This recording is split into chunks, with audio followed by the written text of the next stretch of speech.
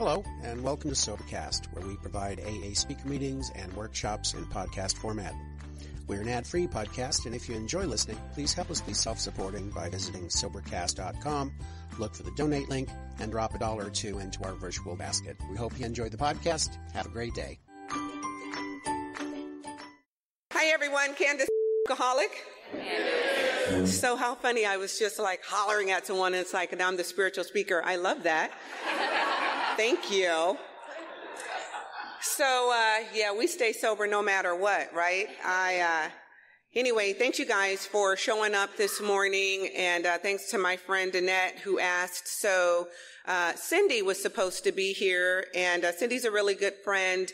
Uh, there's a lot of stuff going on with the airlines right now. And so she wasn't able to work it out, but Cindy and I are speaking in Ohio together. So I will take all of your love and I will give it to her. I will hold a little bit for myself and then I'll give some to her. So, uh, welcome to our new friends. Uh, my sobriety date is August 16th, 1995. It's the only date I've ever had. And that is because over the years, I've remained willing to surrender behaviors and beliefs that would prevent me from staying here continuously. You understand? So it's not 27 years of of not losing my mind. It's not 27 years of not sleeping with the wrong person. It's not 27 years of sound financial decisions. It's 27 years of no matter what, I don't take anything that affects me from my neck up. No matter what, I don't give my seat up in Alcoholics Anonymous. Do you understand? I'm a hope to die alcoholic without the principles, without the traditions of Alcoholics Anonymous. You know, and so I am typically Saturday night, but I can roll with Sunday morning. I can pull out some spirituality, right? And so, uh, uh, so I wasn't here for the weekend because, um, although I did get a, enough advance notice, I was already committed. So in addition to being of service in Alcoholics Anonymous, I'm also of service, period, in my community. And one of my, my places is Covenant House. And so Covenant House is a shelter for homeless and trafficked youth, ages 18 to 24. And, uh, I was committed to volunteer at an event there, and that commitment came before I was asked to do this. And so I said, I can come, but it'll be after covenant. So when I came in last night, like face oily, you know what I mean? I've been getting bitten by, like assaulted by mosquitoes and, and it was amazing. There was this church there. They did a potluck and there was this like other organization who goes to different countries and they had all these things for the youth and anyone, anyone who walked by, they fed them. And that's what I'm talking about. You know, you'll hear different uh, members of Alcoholics Anonymous and some of them have religious affiliations. I don't. I, I, grew up with it and it's not for me. I have a relationship with a power greater than myself that worked for me. But I'll tell you what spoke volumes about the church. They were so kind to the youth yesterday. And they were so kind to anyone who came up who wanted a plate of food. That's what I'm looking at. Right? So I'm going to share some things this morning. I'm going to read a couple of things from the book. I'm probably going to quote some things from the book because I stay in the book right? But more than that is how am I treating you when I leave the meeting? You know what I mean? When I walk in the house, my, my babies, Sasha and Bianca, my cats, shout out. You know, are they, are they at the door? Or are they hiding under the bed? Mom's home, right? And so, um, so by the time I came here and my buddy, um, Kimberly, you know, Kimberly drove, uh, because the car stuff is just real right now and I had to take a break. I had to pause. I'm in pause.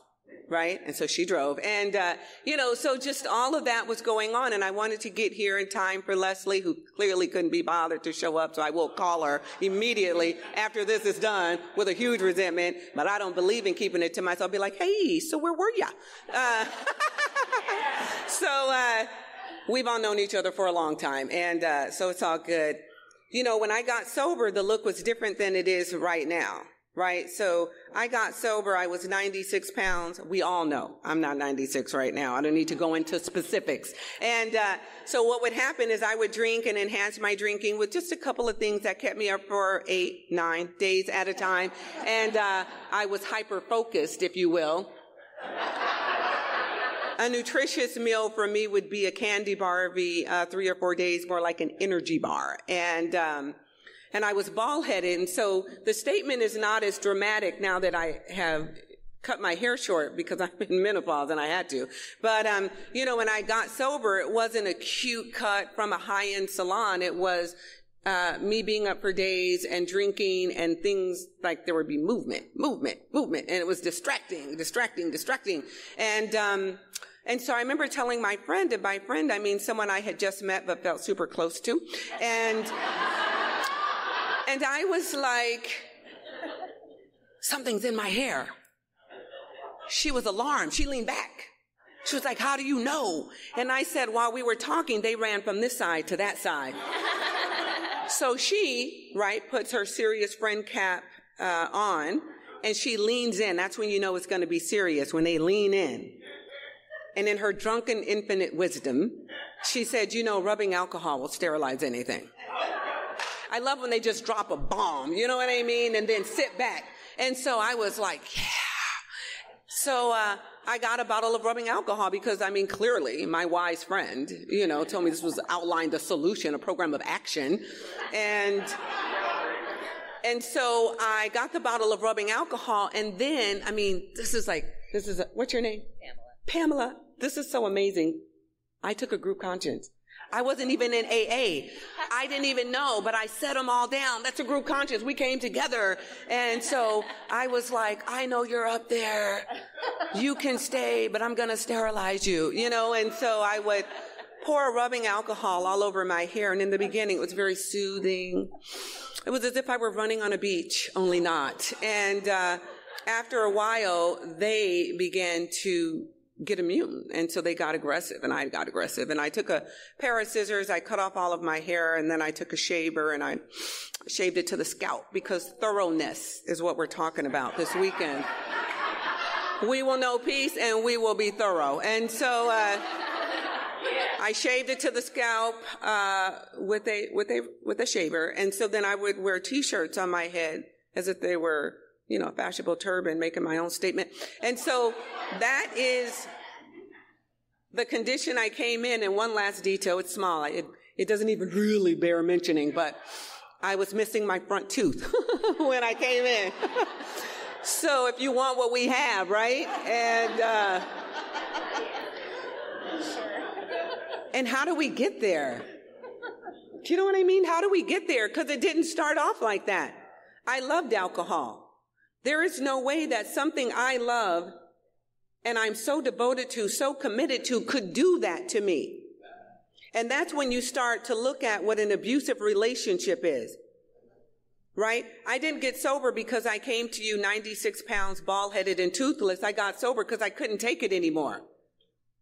I got sober because it just hurt and I just couldn't do it not one second longer. And when I got sober, I didn't think I was going to stay sober. I didn't come here to stay here.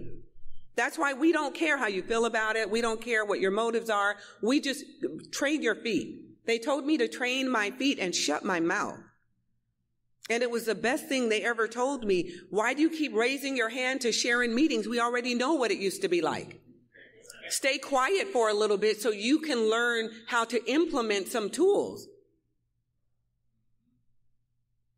Do you know what I mean? I need to know something new. When I got sober, you know, I was, I was cursing all the time and they said, we already know you know how to curse. We're going to ask you to do something different. Thank you for asking me to do something different. I was at 28 years old when I got sober. I'm 55 now. I looked older then than I do now. Ooh, Leslie. Wait a minute. Because I don't want them saying I was talking behind your back. I'm going to tell you what I said. I said, look, look at her pointing at Ralph. No, we take responsibility for our own lives here, Leslie. I was all like giving you these amazing shout outs, and I'm like, it's okay that she couldn't be bothered to show up this morning. I'm gonna call her. I said, I'm gonna call her the minute I leave. That's all right, but Hey, Leslie. hey, Ralph. All right. We are now friends again. Okay, so I said I wasn't going to be bitter, but I was lying. And so, uh, anyway.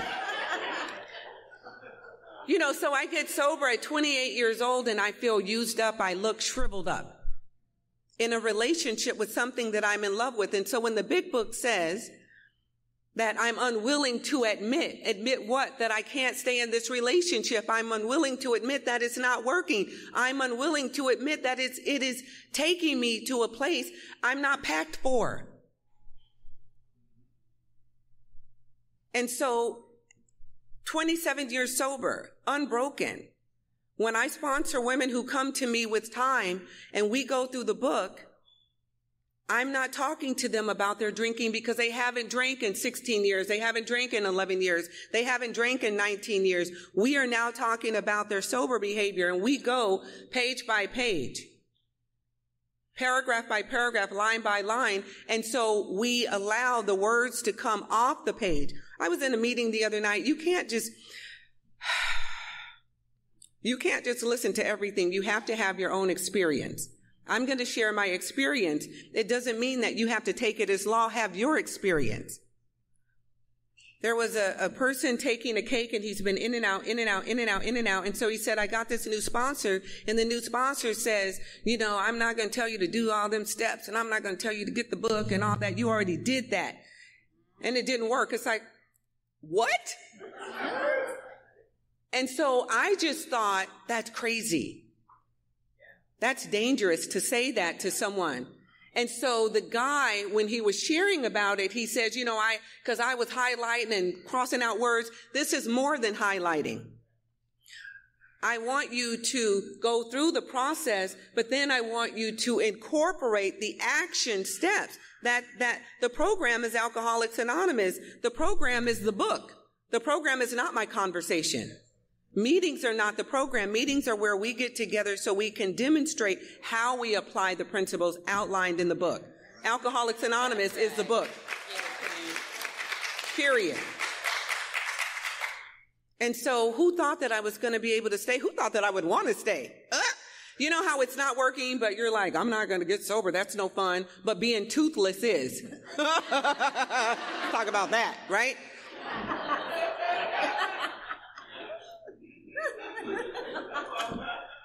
So I was thinking about the promises, and uh, so I asked for the book. I'm a little lightheaded here. It's been happening for a while now. We're going to look at that. If I drop, catch me. or you will be another person on my list. Okay, she's like, I'm ready. she came off, you were on. No, okay. So, um, so let me just read this to you for a minute. I am going to share my story, but let me read this to you. So on page 52, on page 52, it says, I'm going to read it in first person because I'm talking about my life, right? I was having trouble with personal relationships. I couldn't control my emotional natures, my nature. I was a prey to misery and depression. I couldn't make a living. I had a feeling of uselessness. I was full of fear. I was unhappy. I couldn't seem to be of real help to other people. Right? Those are the bedevilments. What that is, is manifestations of self. That is untreated alcoholism. This is before I take an inventory. This is before I understand that I have to train my feet, shut my mouth, and look for ways to be of maximum service. So in order for me to successfully take the second step, I have to do the remaining steps. And the reason I share that with you is because of how it's laid out in the big book of Alcoholics Anonymous. We agnostics is not where step two ends. Step two ends on page 60. By the time we get to page 60, we've read the portion of how it works that you just heard. And in how it works, it goes through all 12 steps. And then it ends with God could and would if he were sought. So in order for me to be fully restored to sanity, I have to be willing to take the remaining steps right? Because I come in, step one is I'm powerless. Why? Because I am God in step one. I'm my plan A and I'm my plan B. We're going to work it out. This is not working. Give me a minute. Let me go back to the drawing board. Not let me ask for help. You read Bill's story. He says, renewing my resolve, I tried again. Not I surrendered. And so he got drunk again. I stayed sober when I stopped trying to figure it out. And when I asked you, can you help me save my life? I didn't trust you because I didn't trust me. My friends have failed me. Past lovers have failed me. Alcoholics Anonymous has never failed me. In 27 years, it has never failed me. Right? And so when I read the bedevilments, I understand because self is abound.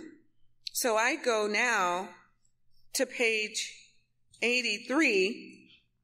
It says, if I'm painstaking about this phase of my development, I'm going to be amazed before I'm halfway through. I will know a new freedom. Freedom from what? The bondage of self.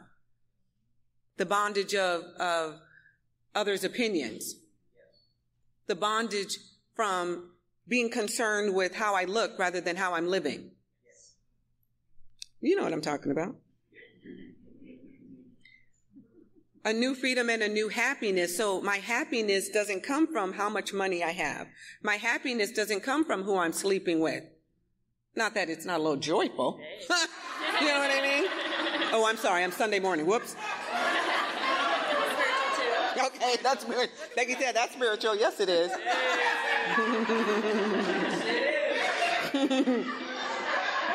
but wait a minute. Wait for it. Wait for it. I will not regret my past, nor wish to shut the door on it. Are you kidding me? I mean, that statement want, makes me want to leave the podiums, take a seat, and listen to someone else because that is so deep. Of course, I regret my past. How can I be 28 years, almost 30 years old, bald headed, toothless, 96 pounds, coming straight off the street? You obviously know I wasn't in corporate America working for a Fortune 100 company, let alone 500 company. There was no fortune, right?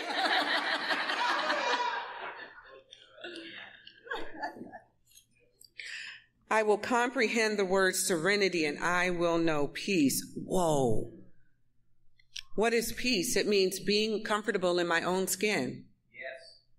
Serenity is just being where I am and wanting to be there. Because I live in over there. When I get over there, it's going to be okay. And then I get over there and I'm like, I could have sworn this was it. Let me look at the directions again.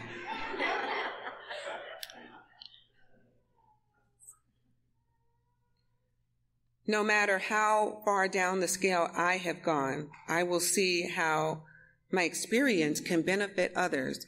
So, quick story. I went through a rehab. A rehab is not Alcoholics Anonymous on any day. It is a business all day and every day. And the rehab I went through, I am grateful for because it took me off the streets and they were safe and there was running hot water. I felt fancy. What you do? I took a shower. Didn't have not one meal, but three in a day. What? And slept on a bed. A bed. What? Do you know what I mean? Because we start taking things for granted. It wasn't like that when I got sober. And so I, uh, I think I was, in reality, I was probably like 38 days sober, but this woman had come into rehab and there was this, this, um, counselor, her name was Letty. She's passed on now.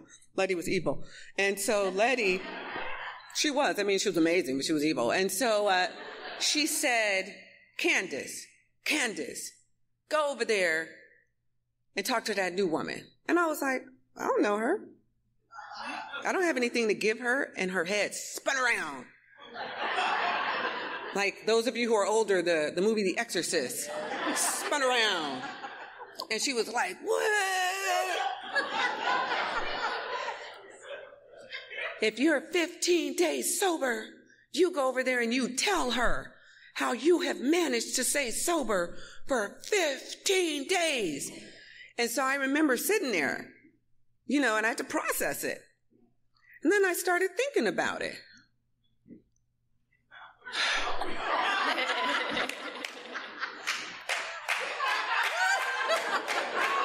I was like, yeah. Let me go over there and tell her. right? And so here's the beauty of it. So I go over, the thing about it is we come into Alcoholics Anonymous and you know, it's a rehab, it's all women and that's its own thing, right? And so she was there, you know, like tough, but she's like this long sober. And so I sat down next to her and I said, let me tell you how I've been doing it for 15 days, right? Let me tell you. And I was like, and Letty's a trip, but it's okay. And I'm like, but the food's good here, you know? And so, and so it's in hindsight that we see everything. Her shoulders came down. Her shoulders came down. She didn't know anyone else, but she knew me. And I was on her side. And so when I walked away, she didn't stay. I don't know if she was there for like a couple of weeks. I know that she didn't stay. But I know that when I got up and walked away from the table, I felt different. I didn't know what it was. I felt taller. That's in hindsight, I felt taller. Usefulness. When I'm caught up in me and what I want and how I'm going to get what I want, I don't serve a purpose. We're in a selfie society now. It's more me and let me get these big lights so you can talk about me. I can do a reel of me. But when I'm thinking about you,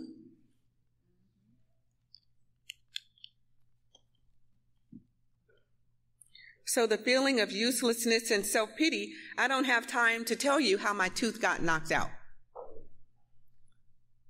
I don't have time to tell you all the horrors that brought me in because in that moment, I just want to let you know it's going to be okay. I was like, we're not that bad. You know what I mean? We're not that bad.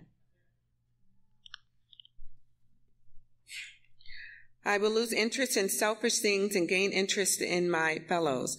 So when I was four and a half months sober, I was in sober living and I went still with the band and they took us to this meeting and this guy was sharing, this Asian guy. I've never seen him again. But if I saw him, I wouldn't know because I didn't pay that much attention. I thought he was boring. And, uh, you know, but cause I came from like the story of the stuff. And so if you didn't have like, you know, 17 policemen holding you up. I was like, I don't even hear you, right? And so he, so that's not the case now, but it was the case at four months. And, um, so he was talking and I was like in my head, boring. And then he got to the end of his talk and he said, I'm going to close my talk with the St. Francis prayer on page 99 of the 12 and 12 and he started to read the prayer, Lord, make me a channel of thy peace. When he started reading the prayer, I started crying. I didn't even think I was listening to him. And so this is why it's not about whether or not I feel like it. This is a program of action. I was where I was supposed to be because that prayer produced a spiritual experience for me. That prayer was everything I wasn't and everything I desired to be. That prayer is the opposite of self. Where there's hatred, let me bring love. Where there's doubt, let me bring faith. Right? And so, um, when I came back to the rehab, I asked the weekend manager if she could open the office so that I could Xerox the copy, a copy of that prayer for every woman in the house because I thought they had been as moved as I had been. They had not. they had not been moved. They missed the moment. But the spiritual experience is that I wanted to share with them. I don't give you anything. What's yours is mine, and what's mine is mine. And any future earnings are mine. And so this beautiful thing, because I come from a place of if I give you some, it's not going to be enough left for me. Yeah. And in that moment, I just wanted to share. That's a spiritual experience where you see, feel, and think differently than you did just a second ago. Right? And so it says, my whole attitude and outlook upon life will change. I understand that service is why I was created, to be of maximum service to spirit, which is what I call my higher power, and my fellows. Fear of people and of economic insecurity will leave me. Tricky. That is a tricky statement. Tricky, tricky, tricky because my car, the engine is tripping and it is going to cost me some money. And I am a small business owner and it's a problem. So it doesn't mean I will never have any fear around it. It means I won't rob you to take care of my business. I won't swindle you to get what I need done. I won't hook up in a relationship because I know they have some money. That's what it means. And I'm not afraid of you because I'm not afraid of me. I'm willing to give you the benefit of the doubt. I'm willing to allow you to be human. I'm willing to allow you to make some mistakes because you've allowed me that. And so I intuitively know how to handle situations which used to baffle me. That's pause. Right? I invite spirit in. I base everything I do on principles. Is this in alignment with my values, my spiritual values? And suddenly I realize the spirit has been doing for me what I didn't even think possible. You know, when I was little, my grandmother raised me. She loved me and I loved her and she was everything. And in her love, I felt safe and I felt secure and I just never wanted to be without her. I loved her and I hope you have someone who, whom you feel that type of love for. I was terrified of the dark at night. I was little, you know? And because of all the stuff that had been going on in my family, I knew more than a child should know about anything, right? And so when I have a safe person, I want to be where that person is. And so at night, when I slept next to her, she would inhale, I would inhale. She would exhale, I would exhale. I told myself that if she died and we were breathing at the same rate, I would go with her because I couldn't imagine being on the planet without her. That's the depth of love I had for my grandmother. My mom had me at 17, so she's 16 pregnant. She did not have a proper support system. She was not emotionally, mentally equipped to raise a child in a healthy fashion. She just wasn't. My mom has really big boobs. And so the manner, and I'm not just giving you that to say, boom, you know what I mean? I'm sharing that with you because she packed her pistol in her bosom. And so the manner in which she would communicate is if she found something you did to be disagreeable, the pistol would come out. And so I don't know how she graded the level of offense. I just know that the responses fell into one of three categories. She would either hit you with the butt of the gun, she would shoot at you or she would shoot you, right? So, uh, sidebar, fun fact. So my dad and I were talking.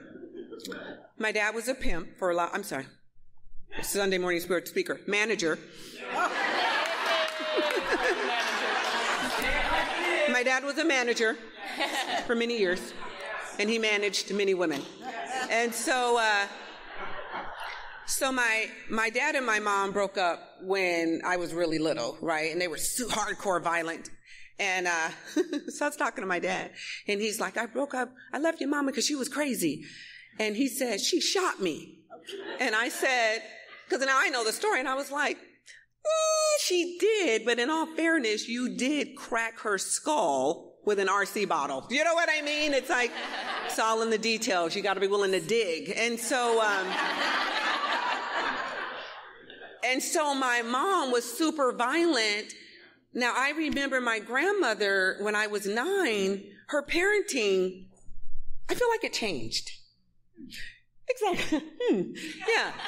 She started saying things like, if you're going to lay down, get paid for it. Exactly. I was nine. You know what I mean? I'm going to use the word, I don't know, inappropriate, right? And so so here's the thing, because you remember when I started off and I talked about safe. When you have that safe person, when, and we were talking about, I do work outside of this, right? I do trauma work outside of this. There's a workbook and there's all this stuff that I do. And so we talk about loyalty and how we form these beliefs.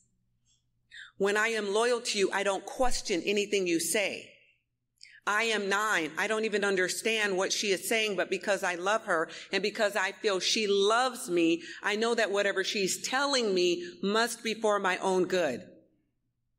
So when I look back, the messaging I received from my grandmother is look cute and have someone else pick up your tab.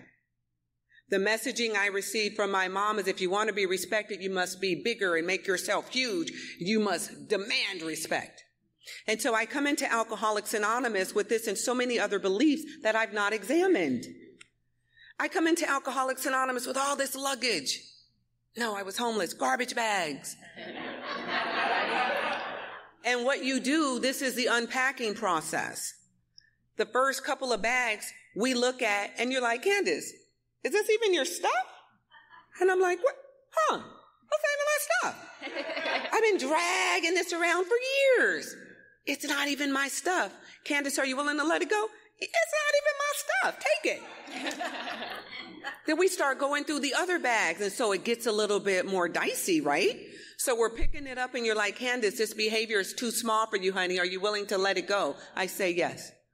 We pick up the other stuff. So now the question is different. This is torn. So can we mend this or are we going to let it go? Can we mend this behavior? Can we mend this relationship? Or do we need to remove it? Right? The inventory process, resentment, fear, sex, inventory. Right? And so when I'm little, I remember when I started drinking, you know, I'm in junior high. My friends are drinking and having a good time and I want to have a good time too. It was super simple in the beginning. I'm not thinking I'm going to hit bottom, live on the streets and come to AA toothless. I mean, who signs up for that? Right? And here's the thing alcoholism lives in arrogance. Even if you would have told me that this would befall me, I would have said, well, I mean, you're obviously a bit more basic than I am. Perhaps you may have this experience, but I can assure you. You know what I mean? It's a lot of that. And uh, it lives in arrogance. It lives in my case is different. It lives in I'm the exception to the rule. It lives in I know it happened to the other 89 people that came before me but number nine zero, honey, that's it. That's the ticket. I'm going to change the game. Some people die trying to do that. Jails, institutions, and death, yeah? So I start drinking and it's everything. I start drinking and what alcohol did for me as it was going down, it's, it smoothed the jagged edges within my spirit, within my womb. It filled me up. You know, my sponsor, Gloria Decker, she's gone now.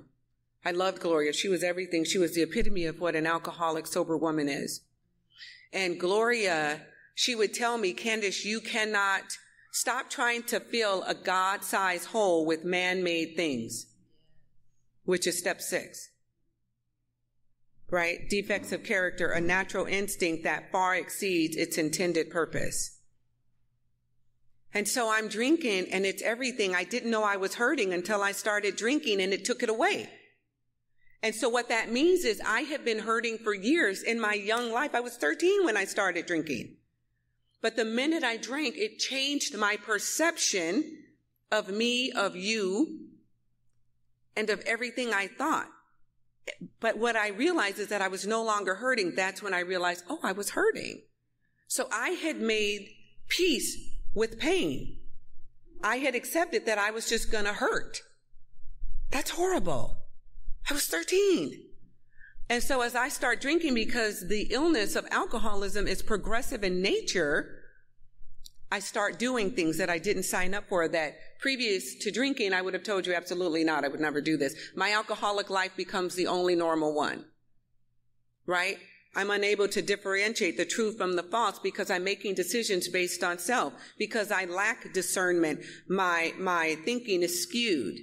I operate from those strange mental blank spots.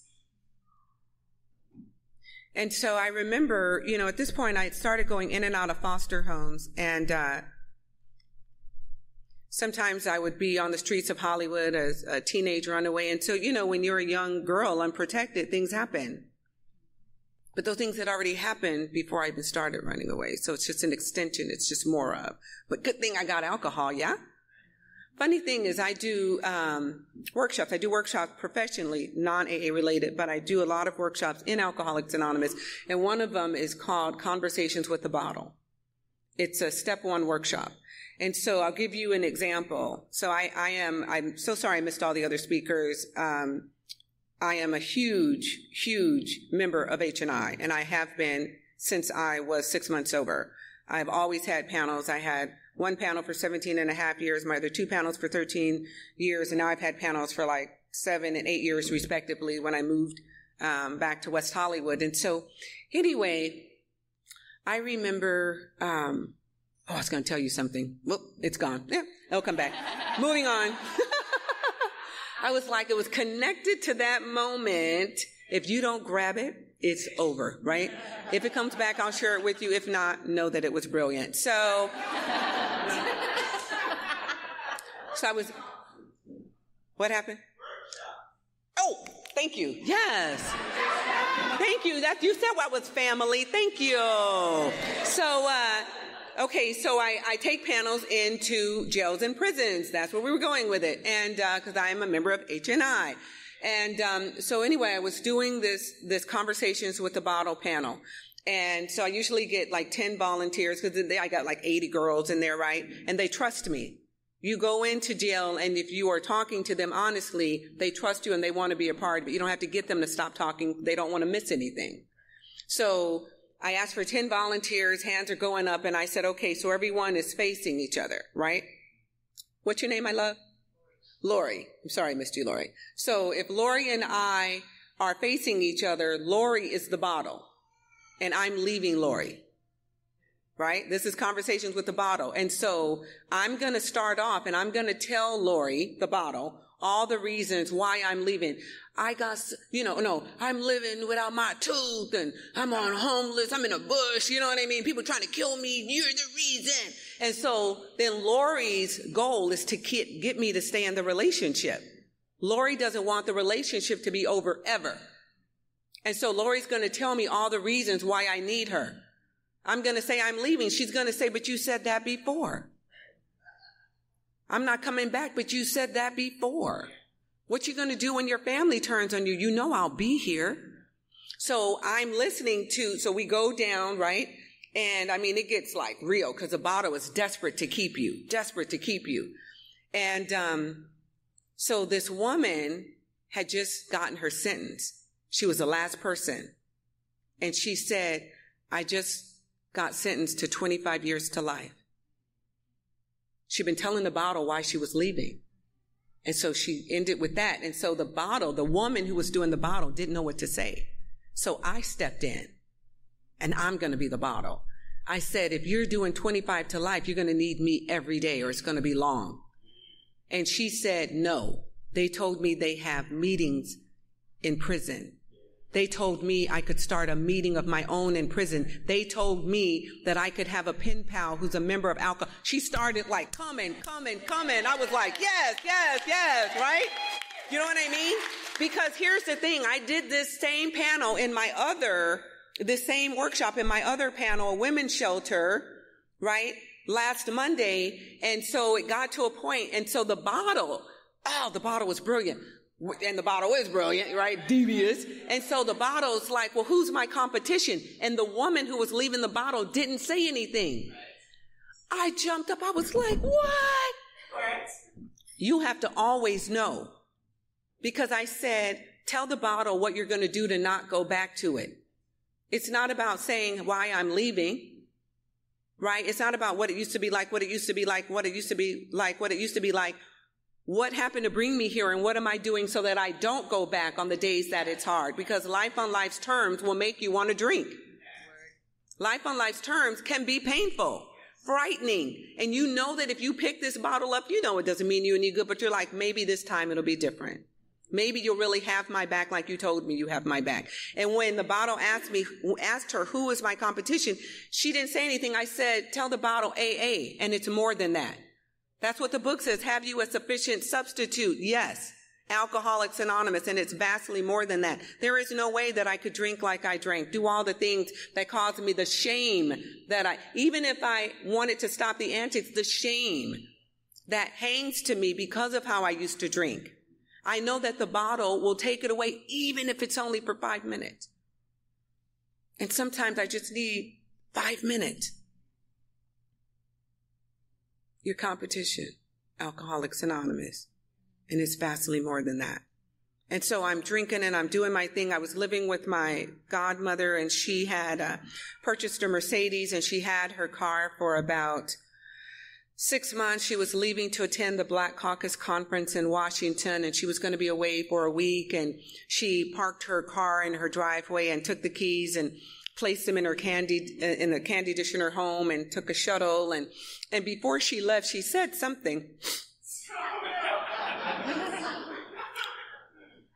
I mean I want to share it with you but it's foggy it sounded like oh let me reach back into the reservoir something like don't touch my car. I don't know. I can't really be sure.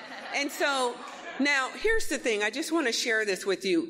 If such thing were uttered, and I'm not saying it was, but if it were, eh, I felt like she didn't really mean it, right? Because that's how I live. I live on a sliding scale. When you say something, I feel there's some wiggle room. But when I say something, it is law. Get clear, right? Yeah, because I want us to be friends, you know. And so, uh, so of course I'm going to take the car. Duh. I'm going to a club in West Hollywood that night called the Whiskey. I think we all can agree that there's no better way to pull up to a club than in a brand new Mercedes, right? And so I'm driving the car that day just to get like in the zone. You know what I mean? And uh, I'm I'm in you know how self will be featured, how self will debut, and as I'm driving the car, consumed with self, I run into someone else's car. Whoops! I stood at the turning point, right? Yeah. So my hat's off to the person who has a valid driver's license and insurance. It was not happening for me but detailed. I mean, who can be bogged down with details when you're going to a club? I mean, seriously. And so, so unpleasant. And, uh, now we're in a pandemic, and so finally people have understood the need to give individuals personal space. Why does it take a pandemic for us to do that? So I have always believed in a personal bubble, period. And uh, and when people talk to me and they're right here, secretly I'm thinking, what did you not get as a child? Do you know what I mean? Why are you here? Move. And so, uh, so the guy whose car I hit did not understand the personal bubble. And um, his energy was so hostile. He was a negative Nelly. I did not like it. And, um, and I remember he was really demanding. I mean, it was just like he was bringing me down. And you know, I mean, I need to be in the right frame of mind because I'm going to the club later. And uh, this whole car scene, you know. So his car is just like hideous, probably total, you know. And her car has a permanent grin. And he's demanding something in the way of paperwork. I don't know, not my car. I don't have a license. So I decide that um, he's ruining my chi, and I need to go. And that's what I did. Like I just left because that's who I am, and that's how I live.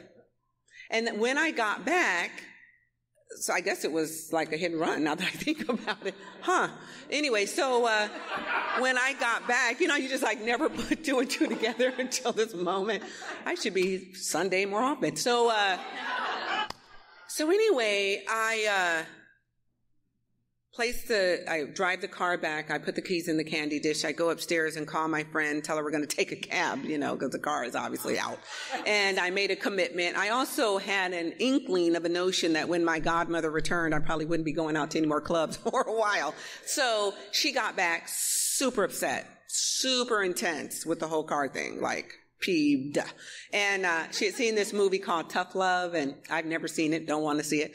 But she saw it and was inspired and drew up a contract of things I was expected to do for having wrecked her car.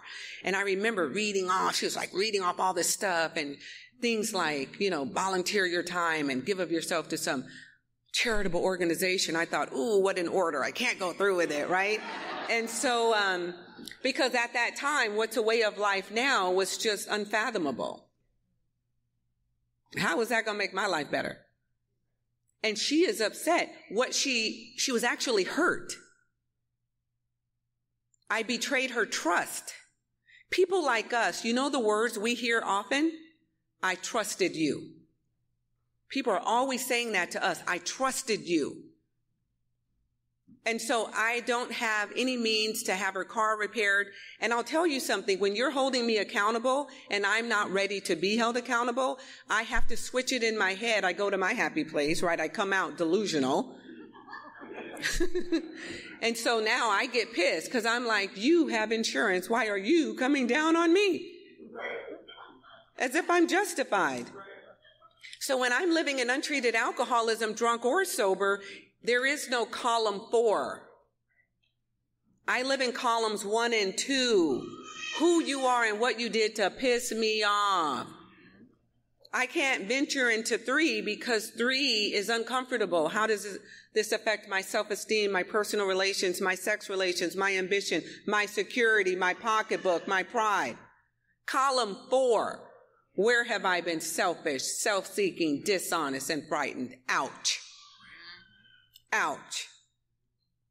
She trusted me in and out of foster homes. She gave me, my stepmother was incredibly accomplished. A graduate from one of the top universities in the country, former journalist, started her own company.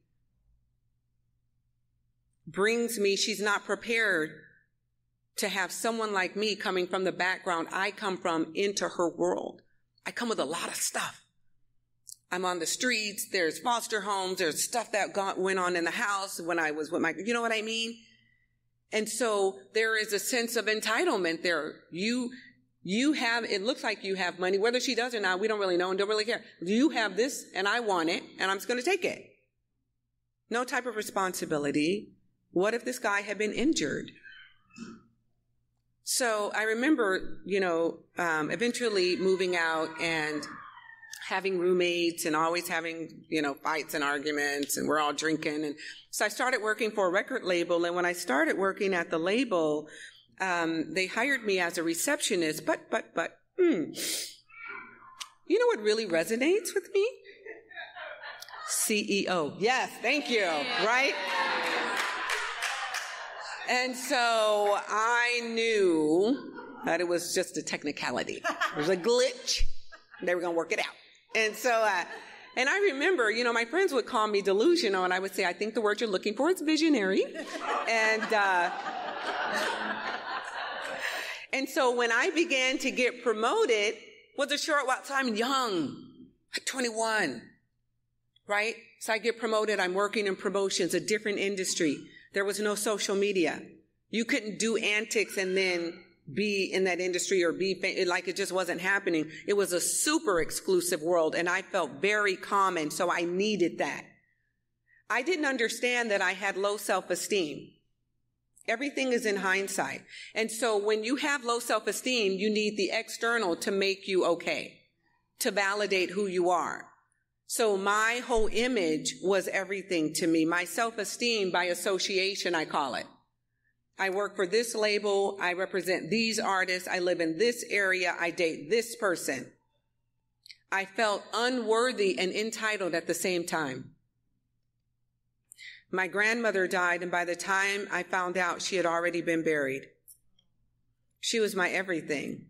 But in the latter years, because I was so busy immersing myself in that world, I don't want to think about where I came from. I don't want to think about the truth of my childhood. I've already colored it and I don't want to have to face that because it's, it's so contradictory. I can't reconcile. I don't have the tools to reconcile. It's too painful. My check engine light was on. just have to know the whole car thing is going on. I can't get into it. It'll bring me down. So, uh, don't ignore it. Yeah, it's like a thing apparently, right? so, I'm like, it'll go off. then the car starts sputtering. Oh my God, what's going on? yeah, well, so, so my grandmother dies. I look around my stuff, look around at my stuff. My stuff's not enough. What do you do? What do you do? Get away from me. She said, drink. True. But you're a bad influence. And so, uh, yeah, right? so, stuff is not enough. The stuff was everything. You know, the stuff was everything. Alcoholism lives in lack, limitation. You're not going to make the grade. The rug is going to be pulled out from underneath you at any moment. That's why I need the members of Alcoholics Anonymous who have come here, who have taken all 12 steps. I'm taught that I'm a newcomer until I take all 12 steps. So if I'm sitting here for eight years without benefit of all 12 steps, I'm still new. I can't have a spiritual awakening as a result of anything if I haven't done anything. It's not possible.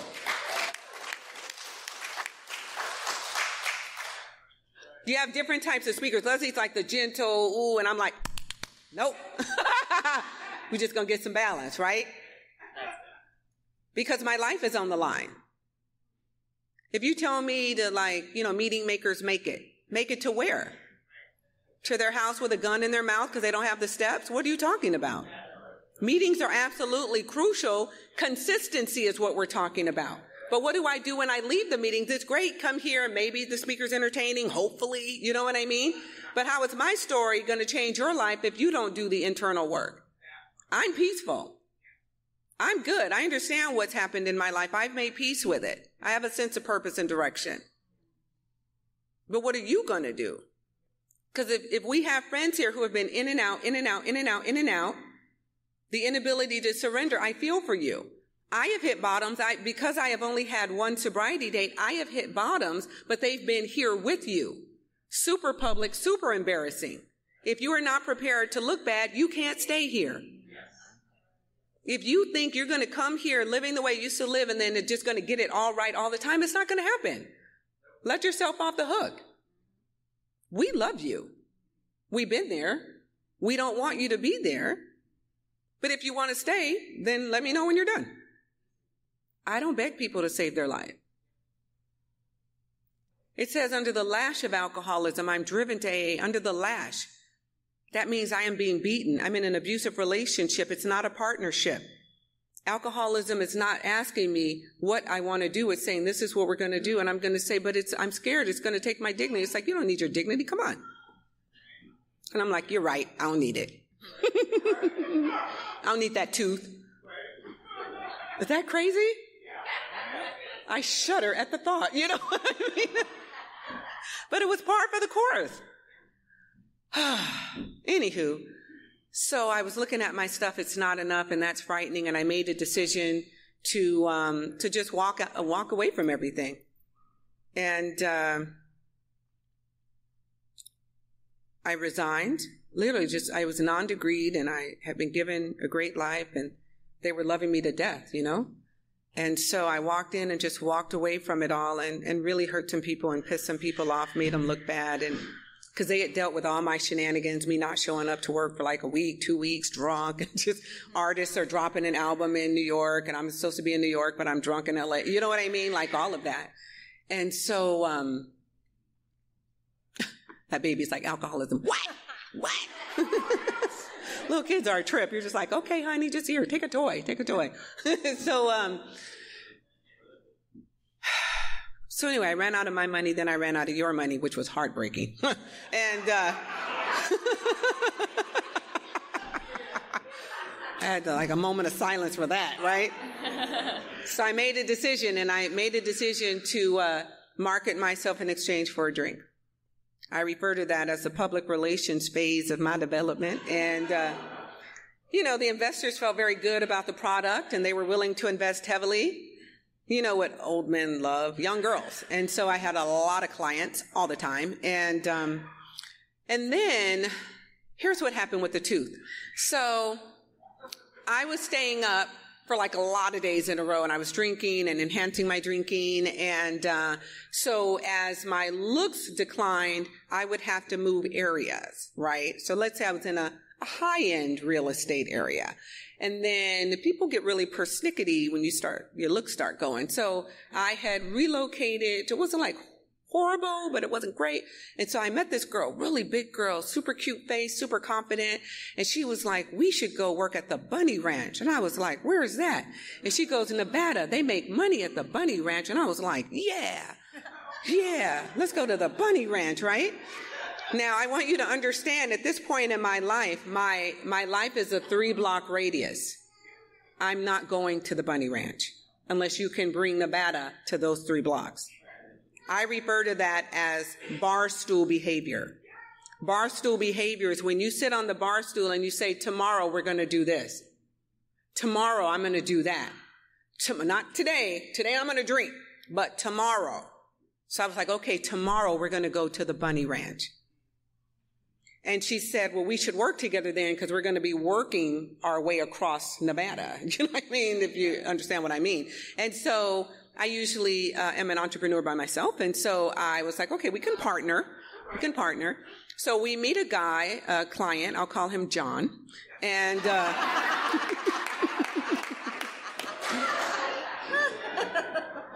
we negotiate terms and conditions. And uh, we go to this motel, sleazy, slimy, dirty motel, and we conduct business. He leaves, and and she had said, "My boyfriend just got out of jail, and he hits me." And I was like, "Well, you should leave him." And um, so about 10 minutes later, there's a knock at the door and I'm like, who is that? She goes, it's probably my boyfriend. I'm like, how would he, he was on a bike. How would he know where we are? We drove like, you know, several minutes. So they probably did this all the time looking back. So he comes in. So we're all there and we're drinking and doing our thing and they start fighting. And by they, I mean him. And uh, so he's hitting her. His fist in her skull. And she is crouched between the bed and the wall in the corner trying to protect her head. And I'm telling him, stop hitting her. You better stop hitting her. And I said, you better knock it off. And he did. He walked over to me, hit me one time, and my tooth blew across the room. And then he went back and continued beating her. And in that moment, they talk about moment of having a moment of clarity, like it's a big, a, a good thing. I had a moment of clarity where I saw myself as I was. That's horrible. That's horrible. I'm not in AA. I don't have a sponsor. So you're just going to like give me me with no tools? How cruel. How cruel.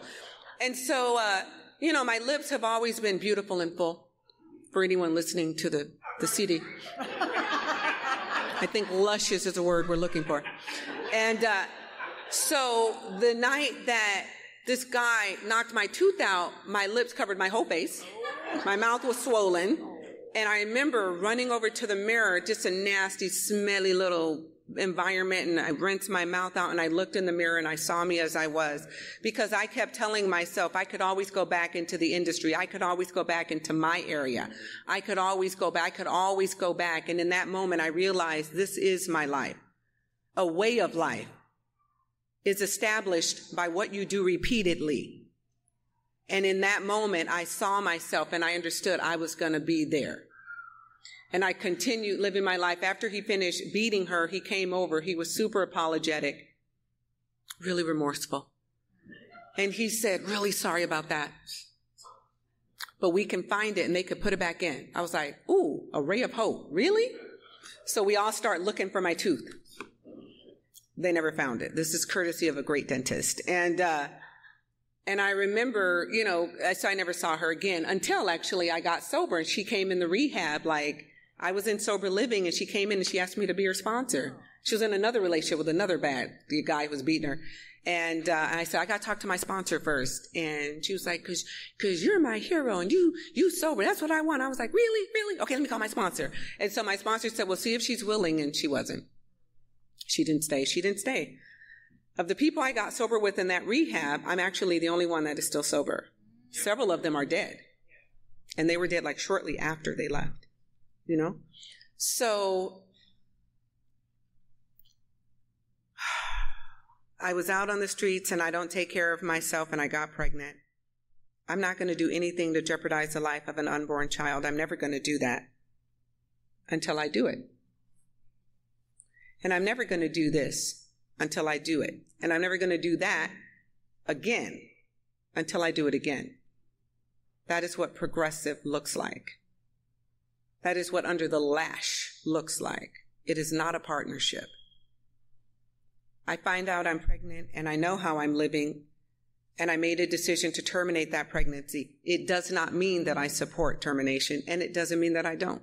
It's an outside issue. I'm never going to tell you where I stand on that. It, it divides us. We can't handle that. I'm going to give you this information because it's relevant. When I was little, there were men who came into the home that I lived in with my grandmother, and they came in often, and they were fond of me in a way that is deeply inappropriate. Often. And because of how I was living at that time, I couldn't guarantee that a child would be safe with me. It is for that reason that I made the decision to terminate the pregnancy, for that reason only. I couldn't risk what happened to me happening to it, my child. And I didn't think I would be able to prevent it. And so I made the decision to terminate the pregnancy, and I learned via every news station, radio station, TV station that a member of my family had been arrested for raping, torturing, dismembering my eight year old little girl cousin. And the person who is responsible is my mom. So my mother has killed my two cousins, ages two and eight, same exact manner, because that's her signature, and a few adults, but we're going to talk about the kids. And as a result of that, she will spend her life in prison. And so when it happened, I'm on the streets, my mom is on the news, and it was just a bad deal, and I couldn't stop drinking. There were a lot of boxes, but not drinking was, I didn't see it on the list. I looked, it wasn't there. And so I remember continuing on as if I weren't pregnant. And the way I was living and people trying to kill me, it's interesting. People were trying to kill me like almost every day when I was drinking, and no one's tried to kill me when I'm sober. I think there's a correlation. Do you know what I mean? Like the things that you're just like, huh. So months later, when I went into labor, I had been up three days straight getting loaded. And I went into labor and I was terrified. My hair was, I said, I have long hair. My hair was matted. And I remember the nurses being very kind to me. They had to have seen women like me come in that hospital in that condition all the time. They had to have had a lot of emotions because I can't imagine that some of these nurses weren't also mothers. But they were very kind to me and I'll never forget it. When you are hurting, you always remember the people who are kind to you. And I remember being in that hospital and they couldn't give me an epidural because I had so much stuff in my system already. And I was crying and I was frightened and I started praying. Now I want to pray. Please let my baby be okay. Please. And I remember 17 hours of labor giving birth to my daughter. You need to understand this was not a pregnancy where her father and I, my daughter's a girl, my daughter, anyway, whatever. So, Sunday morning, don't talk to me. You know what I mean? It's like, it's a lot happening right now. Uh, I have to deal with the car when I get back. It's still there, right? So, so I named my daughter Serenity because I looked at her and she was so beautiful and I felt so awful. I felt so ugly. I felt badly mangled.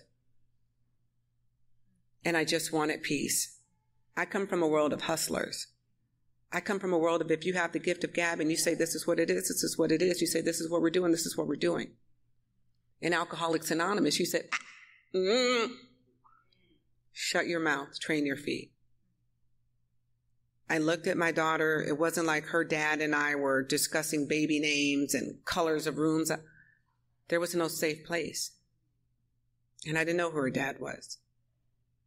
And so I held my daughter and I cried and I remember I could feel her shaking. And I asked the nurse, why is she shaking? And she said she's detoxing. You want to talk about shame. Lipstick can't fix that. There is nothing worse than looking pretty and feeling ugly. There's nothing worse than looking pretty and being envious of other people. I have sponsored some of the most beautiful women on the planet, but they are badly mangled. And so this process, this spiritual reconfiguration is made possible through all 12 steps. When I left that hospital, my daughter was three days old and did not come home with me. But I didn't think she would. You don't come home with a mother like me. At least you shouldn't, you know? And so by the time I got sober, because I wasn't done, now I have to drink even more because I got all this shame. And anytime I'm in my right mind, it's so painful. What Alcoholics Anonymous does through the 12 steps and strong sponsorship, a strong sponsor is different than a sponsor who just says, call me whenever something's going on and get to a meeting when you can. I don't sponsor like that. I don't hang out with people who sponsor like that. I am sponsored. We have, an, we have a discussion when I ask someone to sponsor me and they share with me what the requirements are going to be. I'm going to ask you to go to several meetings. I'm going to ask you to get commitments at those meetings. I'm going to ask you to get to those meetings early. And if you're on Zoom, you need to not be in your bed. Your camera needs to be on. Why would you be in bed in a meeting of Alcoholics Anonymous? Why are you in your kitchen? Why am I seeing food shoveled in your mouth? Would you do that in an in-person meeting? Where's your respect? So the people who are sponsored by me, their cameras are on, they are not eating, they are never in their bed, they are in an appropriate setting. I'm asking you to save my life. I can't sit up. I just think that's crazy. And if you're one of those people, you're obviously not going to talk to me after the meeting. but what do we have in common anyway? So it's fine. So, uh, so, uh, so we are, uh, so I, I get sober and a few months after that rehab had women with children and I would look at them longingly and I wanted my daughter at this point, I didn't think I was going to stay sober. So, you know, it was like I stopped praying. She was almost two years old by the time I got sober. I didn't think I'd ever see her again, but now that I'm sober for like these four months and they have their babies and maybe you could help me. Maybe you could help me be different. Maybe you could help me do it differently. And I went to the director, I told her, and she asked me, where was she? And I said, I don't know.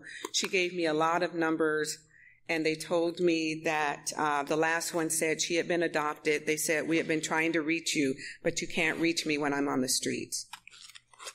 And so I never saw my daughter again. And when I turned five years sober, I'd already gone through the steps and the traditions, which is what, what I do with the people I sponsor. We go through all 12 steps, all 12 traditions. And um, I started celebrating my daughter by gifting other mothers and daughters in her honor every year I would pray and every year I would be directed to do something different for a mother and a daughter. And I also have thrown full scale parties for mothers and daughters and gifts and all of that. Just depended on where I was at that time in my life. I sent a mother and her daughter to the spa one year when my daughter turned 21. Everything I wanted to do with my daughter's serenity, I did for someone else. You taught me that. That's how we erase shame. Not by not talking about it, by saying, okay, what can I do that's useful? What can I do to help someone else since she's not here? I just wanted, if she ever found me, her not to be embarrassed and also to know I never forgot her. My daughter found me two years ago. she was 25 years old, and uh, her name is still Serenity and I met her mom, not her adopted mom, the only mom she's ever known, and her mother is just beautiful and amazing. And she's got other siblings; they're all adopted because she couldn't have children.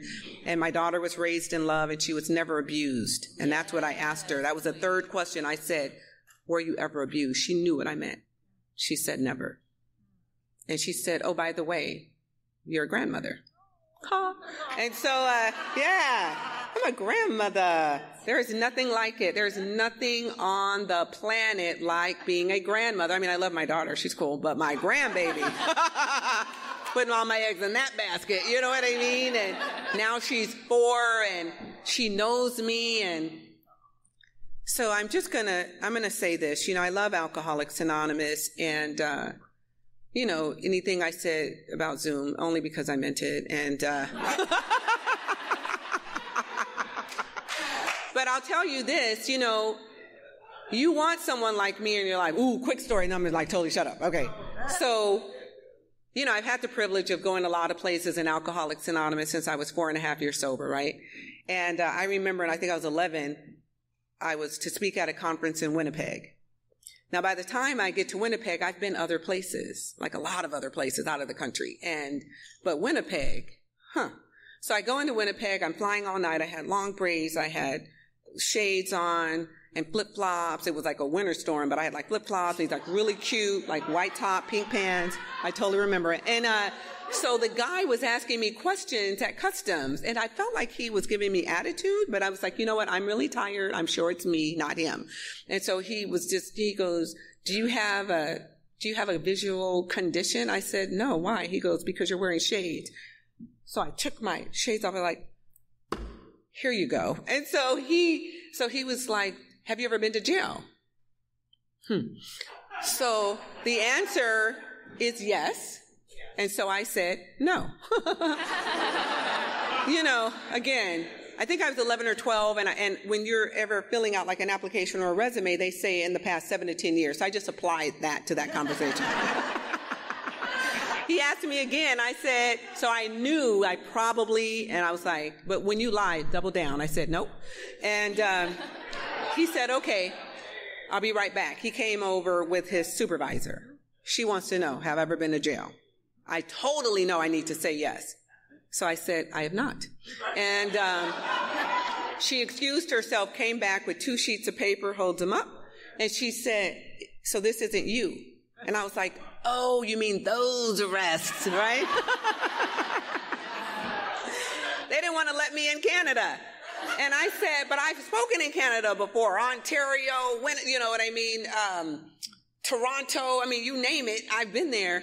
And they said, well, we're a smaller airport, apparently. We, it's like meddling. We have time to really delve into your life. And so, so I, in that moment, said this, the woman on that sheet of, those sheets of paper, you don't want her in your life. She doesn't respect anyone. She doesn't honor tradition. You can't trust her.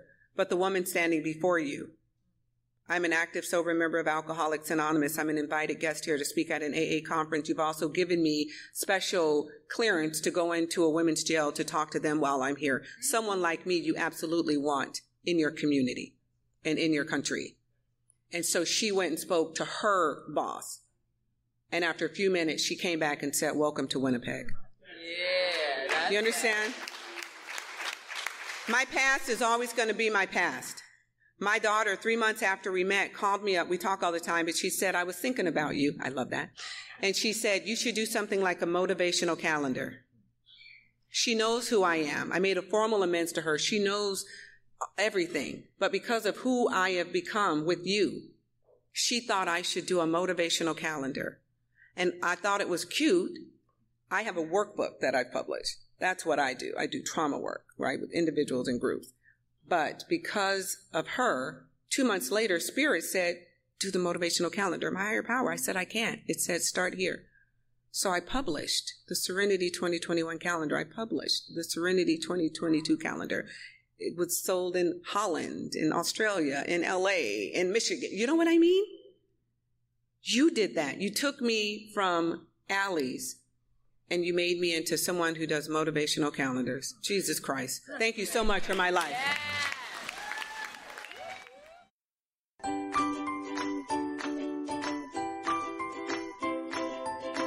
Thanks for listening. I hope you enjoyed the podcast. Sobercast is ad free, and we'd like your help in order to keep it that way. So if you'd like to help us be self supporting by pledging a dollar to a month, visit Sobercast.com and look for the donate links. Thank you very much.